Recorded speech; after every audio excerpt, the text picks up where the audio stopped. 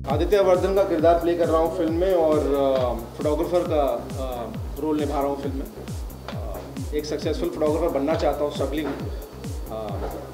जैसे ज़िंदगी में हूँ स्ट्रगल कर रहा हूँ लाइफ में कुछ बनने के लिए। वैसे ही फ़िल्म में भी कुछ बनने की कोशिश कर रहा हूँ और कैसे सारे रिश्ते तोड़कर बाउंड्रीज़ को क्रॉस करके ये लड़का अपनी ज़िंदगी में कुछ अचीव करता है।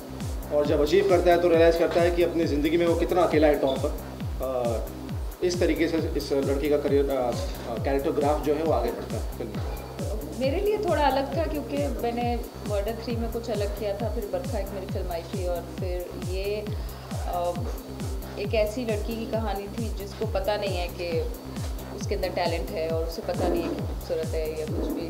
तो मैं भी I was a tomboy at my childhood तो मुझे सबने बोला, तुम बहुत फ़ोटो फोटोजेनिक हो। मैंने बोला, यार मेरे को फोटोग्राफ से बहुत प्रॉब्लम है यार। सो so, वो शायद छोटी छोटी चीज़ें थी जिससे मैंने कनेक्ट किया और म्यूज़िक मुझे अच्छा लगा था सबसे पहले। तो मुझे लगा कि ठीक है इट्स लाइक आजकल सॉन्ग्स हमें अच्छे लगते हैं और कभी फ़िल्म कैसी बनती है और कभी बहुत कमाल फ़िल्म बनती है लोगों से कनेक्ट नहीं करती। तो आई थिंक ये सब ऑडियंस के ऊपर है। आज मैं जॉन इब्राहिम का एक इंटरव्यू पढ़ रहा था। अभी I think he gave an interview for Dishoom तो बोल रहे थे कि यार इंडस्ट्री जो है एक ऐसे फ़ेज़ से गुजर रही है जहाँ पर एवरीथिंग इज़ जो बोलते हैं टिपिकल प्रमोशन कि आज हम चार सिटी जाएँगे, वहाँ पर बैठेंगे बातें होंगी और हम फिर मॉल में जाएँगे, हाथ हिलाएँगे। अगर अगर मॉल में जाने से लोग फ़िल्में जो फ़िल्में थिएटर्स के अंदर आ जाते हैं, सारी फ़िल्में जो है वो सर मॉल में पूरा दिन बैठते हैं। तो ऐसा नहीं होता है। आई थिंक एक फ़िल्म की जो एक एक एनर्जी है, एक फ़िल्म का जो वाइब है, पहले प्रोमो में पता चल जाता है जब गाना रिलीज़ होता है बिकॉज़ गाने songs are big part of a film community now तो उसे देखकर ऑडियंस बोलती है यार इसे देखना है या नहीं देखना simple is that the first promo the first look matters a lot for the film और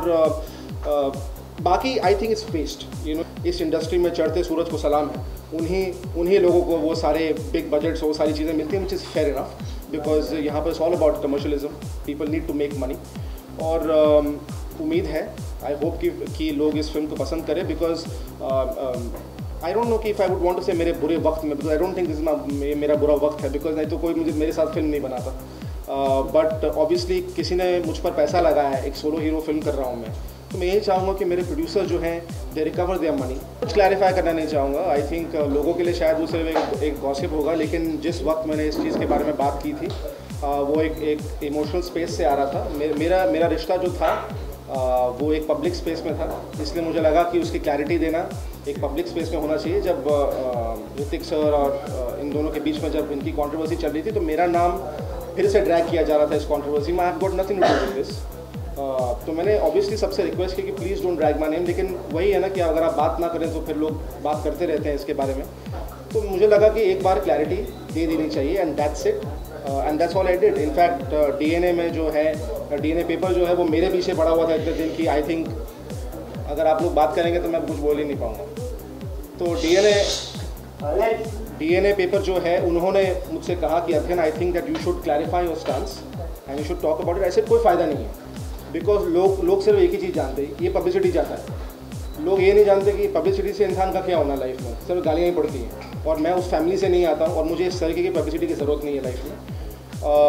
लेकिन मुझे लगा ठीक है। मे बी अब नहीं तो शायद मैं ज़िंदगी में अगर सक्सेसफुल हो जाऊँ, और डेफिनेटली होऊँगा, उस वक्त इसके बारे में मेरे पास ज़िंदगी में स्पेस नहीं होगा, वक्त भी नहीं होगा। इसलिए मुझे लगा let me just talk about it and finish it off and that's it और मैंने एक इंसान से बात की, और फिर आई थिंक फारिदून से बात की थी, उसके बाद मैंने किसी से बात नहीं की। सबके फ़ोन कॉल्स आए I think you should clarify I think you should talk ऐसे there nothing to clarify there nothing to talk मुझे सच बोलना था। आप उसको बिलीव करें करें, नहीं बिलीव करना, ना करें, आपको लगता है कि मैं लूज़र हूँ या मैं पब्लिसिटी के लिए कर रहा हूँ, वो आपका थॉट है। तुझ पे फना मैं इस तरह। हर पल तेरी तश्नगी मेरा सुकून, मेरा जुनू